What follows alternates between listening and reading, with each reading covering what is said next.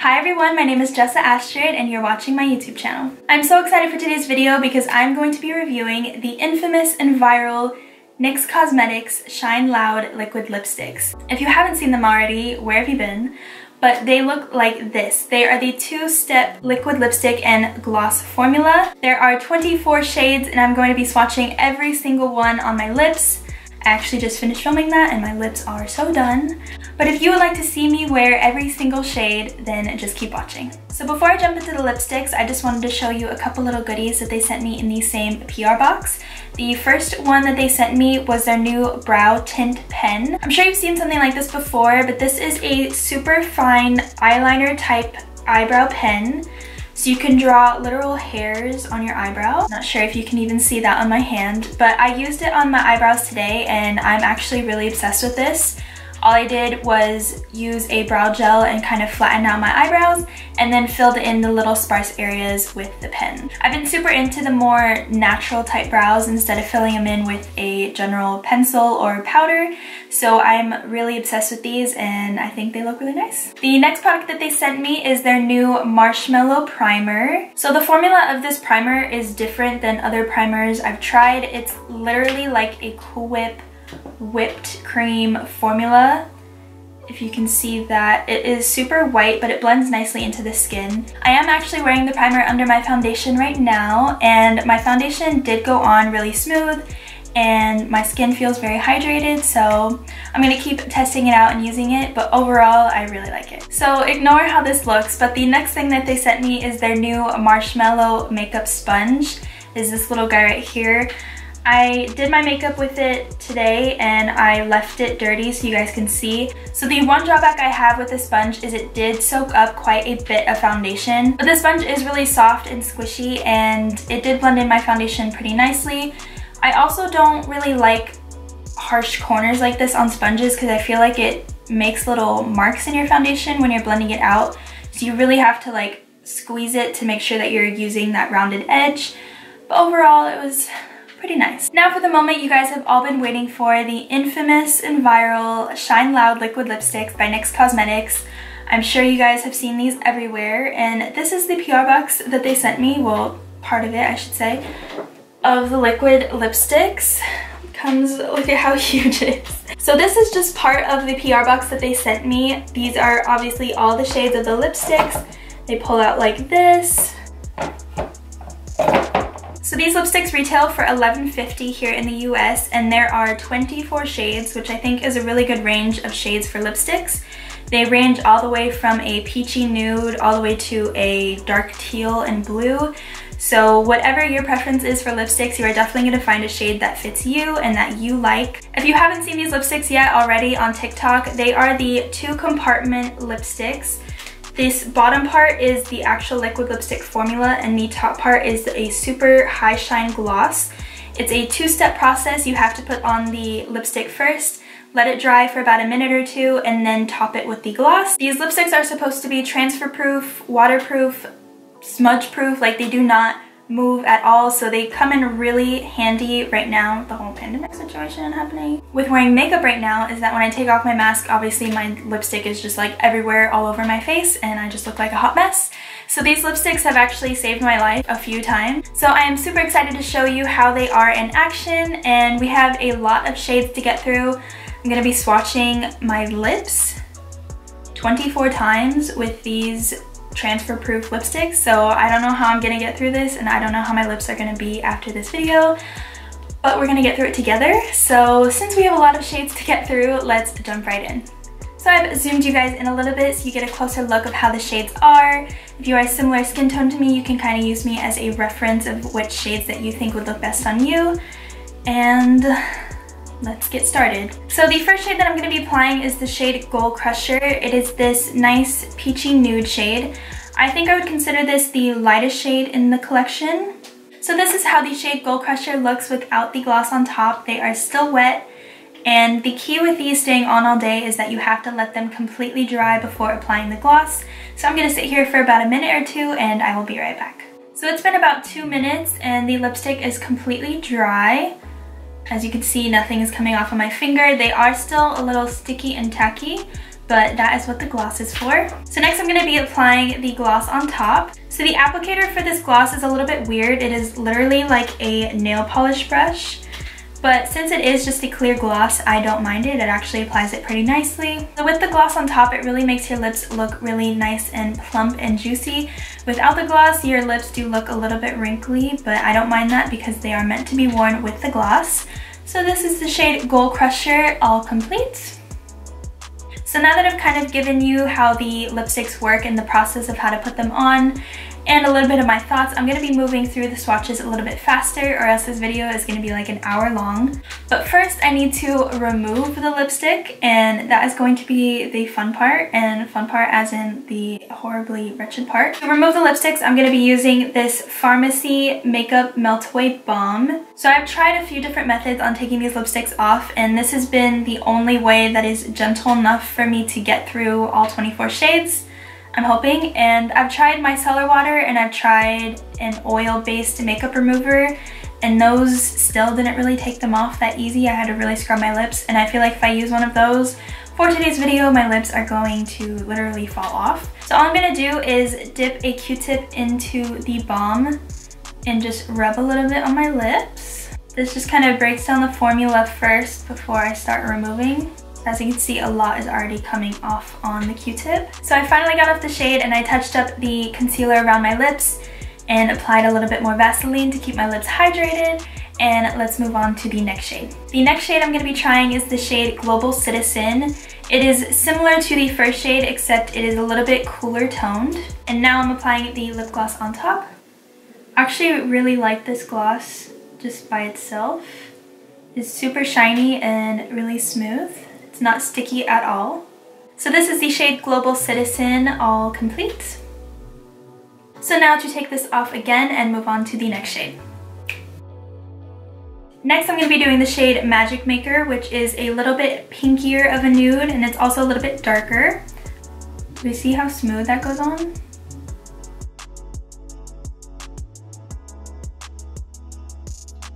I just remembered that I completely forgot to show you like the most like important part of these lipsticks, which is the transfer proof, proof? So here's the ultimate test. Here's a clean hand, no makeup on it. It's like a freaking magic trick. And I already put the gloss on top and nothing. So this is the shade Magic Maker. Oh my gosh, I literally just did Magic Trick and this shade is Magic Maker. Wow. What a quinkity. So far my lips are doing okay, which is good. The next shade I'm going to be using is the shade Cash Flow. This is similar to the last shade, except this one is even a little bit more pinky. If you can tell, this is Cash Flow here.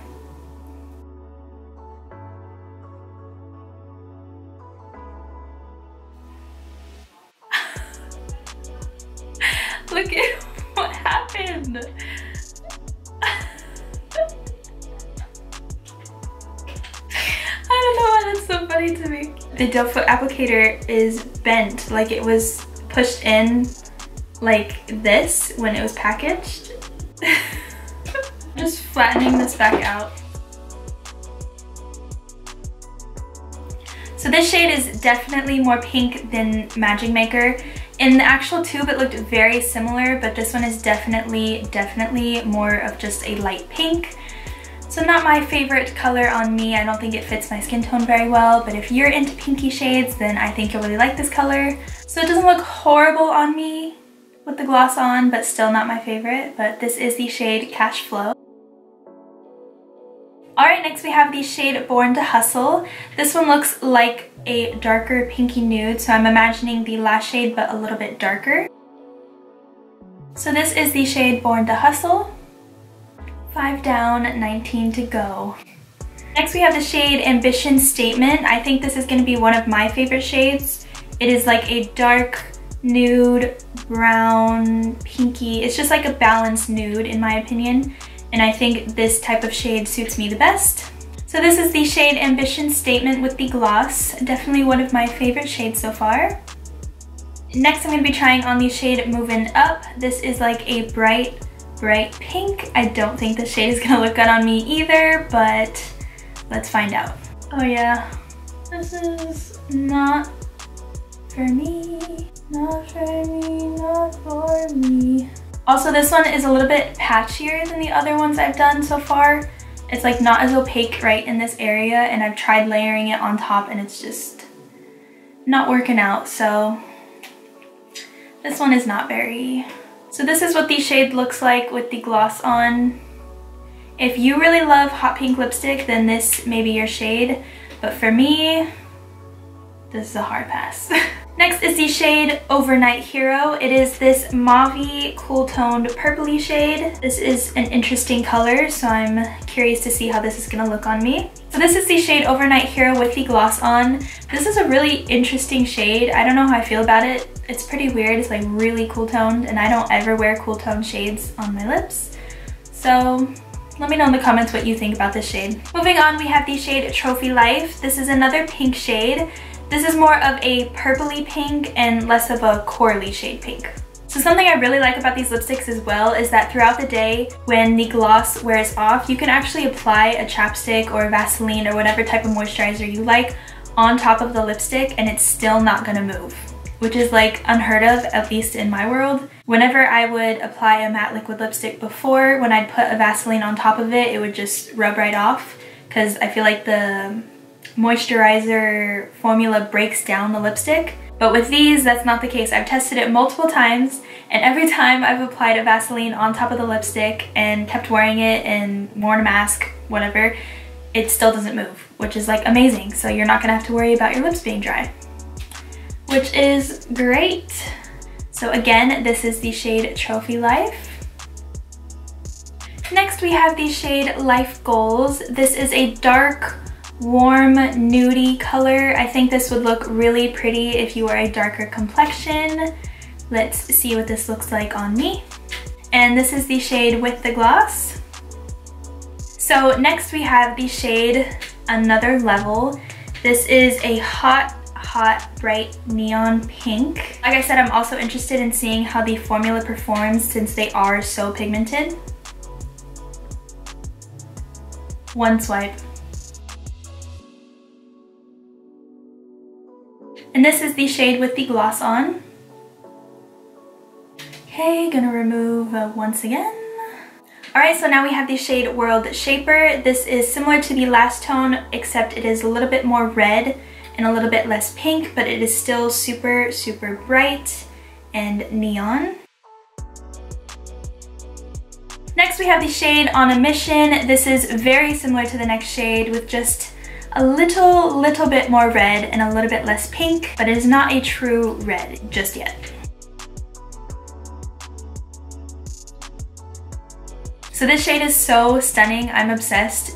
It is very bright and vibrant, kind of like a berry red. Definitely gonna be one of my top favorites, but let's see what the next one looks like. So next we have the shade Rebel Red. This is the most true red shade in the collection. It is not too pink or too dark. It is just like the most fire red. Let's do another kiss test. I haven't shown you another one for a while. Nothing on my hand. Nothing on my hand. The gloss transfers a little bit, but still leaves my lips looking shiny. And absolutely nothing.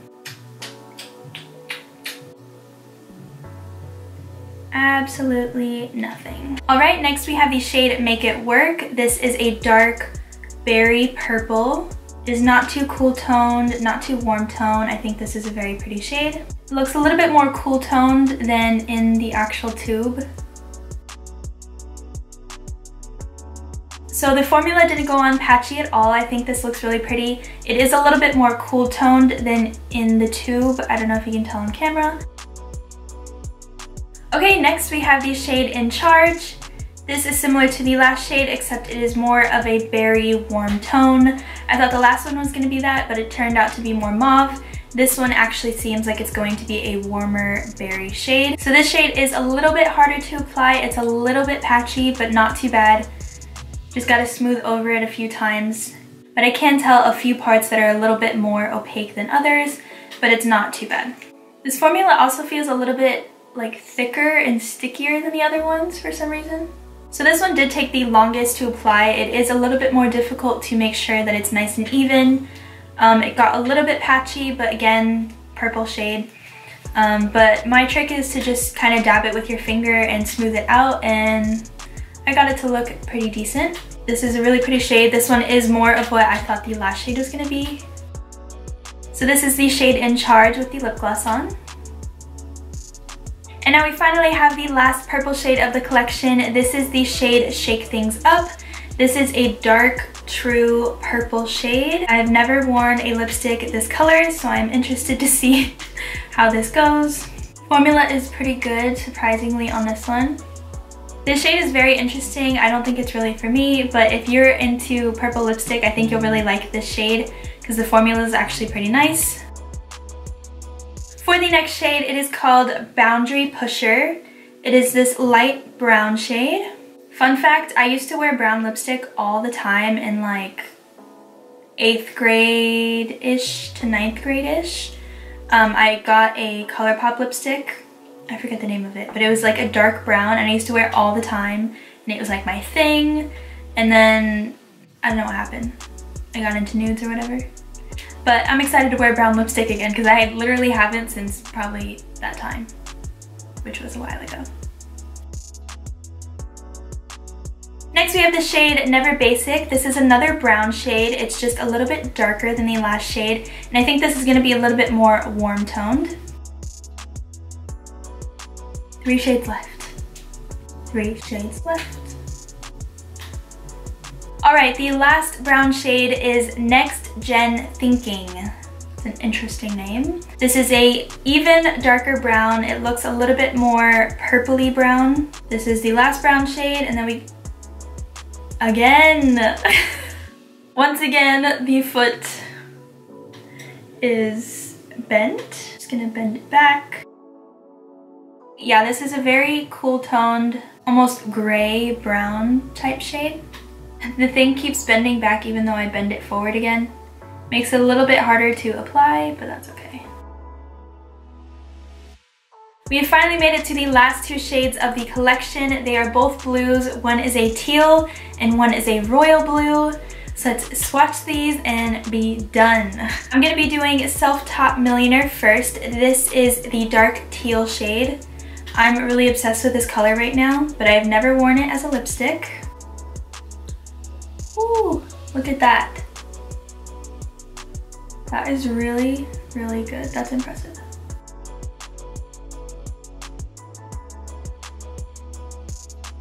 And last but not least, we have Disruptor, which is this royal blue shade. It is absolutely gorgeous. Okay, we finally made it through all 24 shades, swatched and reviewed. I am going to go take this off again with my cleansing balm and then I'm gonna go throw on some regular lipstick so I don't have to take it off again and I will be right back. Okay, so I just put on a plain good old matte lipstick so I don't have to scrub my lips a single more time. If you have made it this far with me, thank you for watching. I hope you enjoyed watching all those swatches and I hope it helped you out if you were thinking about getting some lipsticks yourself. Overall, I really love these lipsticks. The formula is really nice and they are exactly as advertised.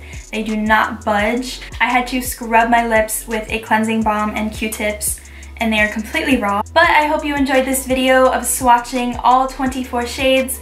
Let me know in the comments which shade you love the most. Please make sure to like this video and subscribe so you don't miss my future content. I'm going to be uploading a lot of reviews and a lot of tutorials very soon. Also make sure to follow me on Instagram at Jessamarie Astrid and TikTok at Jessa Astrid. You can also text me to my personal number at 323-208-0782.